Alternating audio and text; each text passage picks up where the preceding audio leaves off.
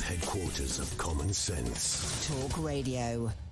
Uh, I'm talking to Seyi Rhodes, uh, who's just uh, done a documentary for Channel 4. It'll be on on Monday, 10 o'clock on Channel 4, as I said before, looking at the history of um, uh, and looking into why maybe people of colour distrust or have so much mistrust when it comes to medicine and vaccines. Seyi was uh, telling us about how he went back to Alabama and uh, the the father of gyneco- J. Marion Sims did a lot of his experimenting on slave women um, back in, you know, in the days of slavery, and how still uh, women of color, both in the US and the UK, are, I believe, five times more likely to die during pregnancy and childbirth. So, this distrust, this lack of trust in, in medical um, uh, experimentation, if you like, or vaccines, doesn't just come from anywhere. And as I said in the introduction, if you just think, oh, that's history, that's so long ago, think again, uh, Seyi rejoin to me now. Seyi, um, you, we, we talked about the, what happened during the days of slavery, but uh, coming back to, mm. for instance, the, the trials around the so-called medical trials around syphilis um, mm. and how people uh, just just tell us a bit about the evilness. Uh, that's the only word I can think of. The evil. Well, I think yeah, practice. the study you're the study you're referring to was called uh, the United States Public Health Service study into untreated syphilis in the Negro male. Um, their, their, their, premise was that black people were, uh, you know, morally inferior and therefore prone to sexually transmitted diseases like syphilis. So they figured it'd be a good population to study. They got uh, a group of black men who had syphilis, told them they were being treated, um, but actually marked on their medical records that they must not receive under uh, any treatment for syphilis under any circumstances. They then went decades, these men, um, regularly going to the doctor with various complaints and so on, never receiving treatment, but always being told they were. Um, the point of this experiment was that those men should die of syphilis. That was the whole idea. So that then they could have a post mortem, they could open them up, and they could see what syphilis does to the body. And of course, um, they spread it. They would have been unknowingly spreading it as well, being oh, told, "No, you're you're being treated." Trisha, some of those men um, fought for America during the war. They came to Europe. Some of those guys. I, I, I, dread to think what, what happened. And obviously, within their communities, yes, wives and girlfriends contracted the disease. Babies were born with syphilis, Trisha, um, because of this experiment. And, uh, you know, it went on from the 40s to the 70s. It ended only because a journalist broke the story the doctors were happily quoting this this experiment and this this uh, study in in papers in in in journals and so on. Academics were talking about it, but the public didn't know. And when they found out, they quickly wound up the experiment in '72. It's that's the thing. People say, "Ah, that was back then, 1972." I mean, I was I was at school still. I was a mm. teenager. Mm. 1972 ain't that long ago. Now, Absolutely. During the war, they they did. You know, we think, "Oh, that's the Americans. That's the Americans." But Britain also has a history, does it not? The way uh, mm. they experimented with the Indian soldiers who had, part, as part of the empire, bravely volunteered to fight for the empire, and they got mm-hmm. repaid with with this. Well, yeah, they were um, they were experimented on. They had mustard gas experimented on them, um, on their eyes, uh, on their genitals. Um, or the, they suffered horrible injuries. Um, the, the idea again was the British were trying to figure out if Indians were more susceptible to mustard gas.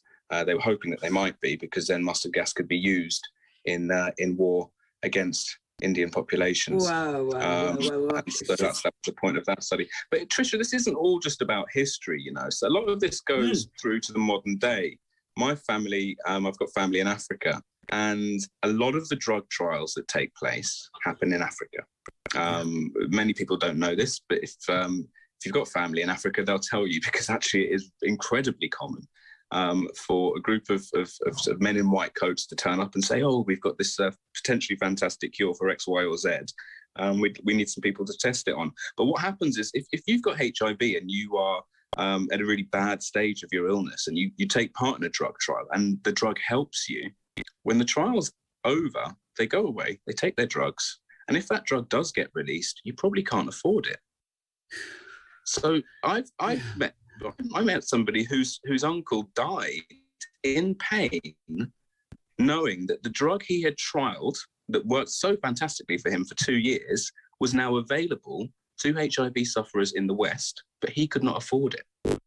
Oh, I mean, my. you know, she, this this lady remembers her mother, who's uh, this man's sister, saying that if she sold everything she had, she could only afford two months' worth of treatment. Oh. And there was no way for them to get back in touch with the people who ran the trial. Imagine how that makes people feel. And then you tell them, mm. we've got this vaccine. Uh, we've tested it a bit, but you know, here, here, have this vaccine.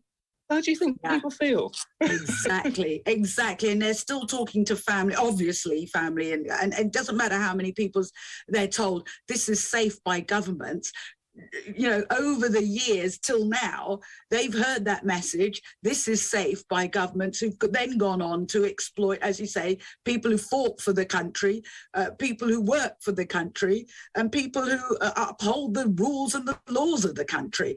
Um, you did look at the other side as to how that uh, understandable lack of trust is is being exploited by anti-vaxxers, mm. uh, Robert Kennedy and what have you, and and they're tying it all together with Black Rights Matter and what have you. So it, again, being uh, taking that that fear and using it.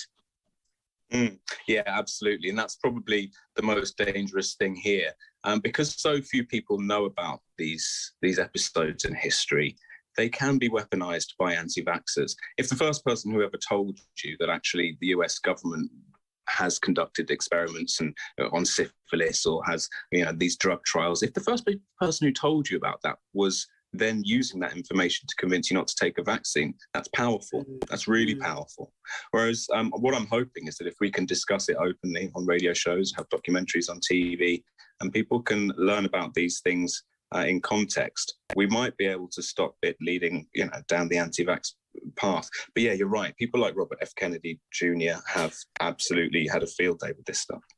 Yeah, they are, and, and again, ex- uh, recently exploited the fears of, of Jewish people, talking about likening things to the Holocaust. I mean, they literally will use the, the, the grief and trauma of anybody to further, you know, what what they believe.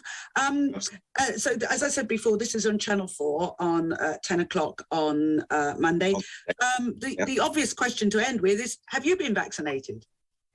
I've been vaccinated. Of course, I have, Trisha. I had to yeah, delay for a little bit because I was traveling. Um, but yeah, came back and, and I got it done.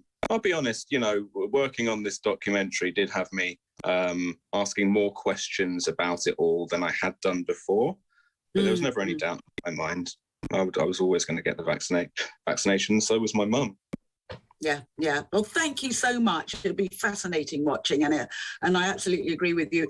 Uh, having the history told from your uh, point of view where you're you're you know you're not in league with um, you know people peddling all sorts of extreme things but this is what happened. This is what is still happening.